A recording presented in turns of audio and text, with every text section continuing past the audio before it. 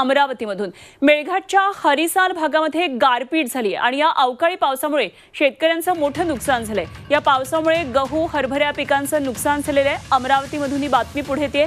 मेळघाटमधल्या हरिसाल भागामध्ये मोठी गारपीट झाली आहे आणि गारपिटीमुळे इथली पिकं उद्ध्वस्त झाली आहेत. गहू हरभरा अशा पिकांचं नुकसान झालेलं आहे.